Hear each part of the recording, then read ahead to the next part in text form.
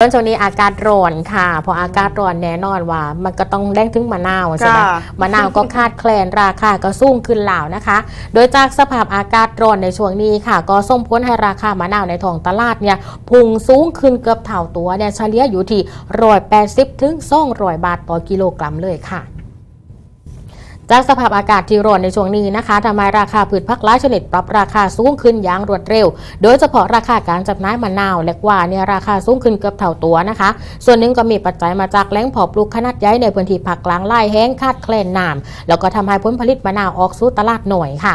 นายธีรพัฒน์บุญทรงผู้ประกอบการร้านเจซาฮัดย้ายย่านตลาดสดพลาซ่าก็บอกว่า ช่วงหน้าร้อนของทุกปี โดยเฉพาะเดือนมีนาเมษาแล้วก็พฤษภาเนี่ยผลผลิตมะนาวทั่วประเทศจะขาดตลาด เนื่องจากในพื้นที่แหล่งเพาะปลูกส่วนใหญ่แห้งแล้งแล้วก็ขาดแคลนน้ำประกอบกับพื้นที่แหล่งปลูกมะนาวรายใหญ่ของประเทศในหลายจังหวัดมีฝนตกแล้วก็น้ำท่วม ส่งผลกระทบต่อผลผลิตมะนาวที่จะออกสู่ท้องตลาดก็เลยทำให้ราคาการซื้อขายมะนาวทุกสายพันธุ์ในตอนนี้ พุ่งสูงขึ้นขับเท่าตัวจากเดิมเนี่ยขายอยู่ที่โลละ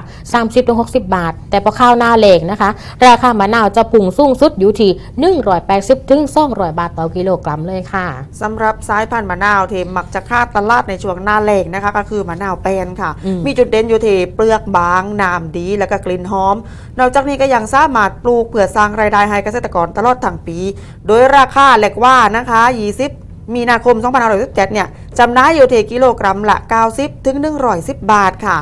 ส่วนมะนาวไซส์พันธุ์เอิญเทเกรดรองลงมาค่ะจำหน่ายอยู่ที่กิโลกรัมละ 50ถึง70บาทเพิ่นพือก็ตามนะคะ ขณะนี้เนี่ยทางร้านได้ติดติดต่อกับจุดดับเสืออีกหลายแห้งค่ะ เพื่อที่จะให้ทางร้านเนี่ยยังคงมีมะนาวจำหน่ายให้กับลูกค้าอย่างต่อเนื่องอืมขณะเดียวกันค่ะก็ยังนำมะนาวเทพ้นไม่สวยอืมแล้วก็คันเอานำนะเอานำออกมานี่แหละเอามาบรรจุขวดจำหน่ายเป็นทางเลือกให้กับลูกค้า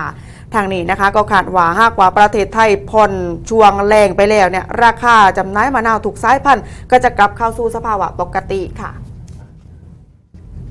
ขึ้นมา 50%ได้เลยครับ เพราะว่าจากปกติพวกนี้จะอยู่ที่ เหมือนช่วงช่วงปกติเนี่ยจะอยู่ที่ 40 50 ใช่ไหม30 40 50 60อะไรแบบเนี้ยครับ ตอนนี้ก็จะขึ้นเป็นเนี่ย90 100 110แล้วครับ ที่มันขึ้นไฮไฮสูงสุดก็อยู่ประมาณ 120 บาทเลย เอ้ย 180 บาทถึง 200 เลยครับ ก็มันขาดตลาดอะครับ ผลผลผลิตมันไม่ออก พอผลผลิตไม่ออกก็คือเหมือนกับเอ่อผลผลิตมันน้อยใช่ไหม คนเหมือนทั่วทั้งประเทศเนี่ยเขาไปลุมแย่งกันซื้อเนี่ย มันก็ดันราคากันขึ้น เหมือนกับแข่งราคากันขึ้นนะฮะครับ แต่ถ้ามันล้นตลาดมันก็จะถูกลงถูกลงถูกลงถูกลงครับก็ถือว่าราคาไม่เบาในช่วงนี้นะคะ กับราคามะนาวในช่วงหน้าร้อนอย่างที่บอก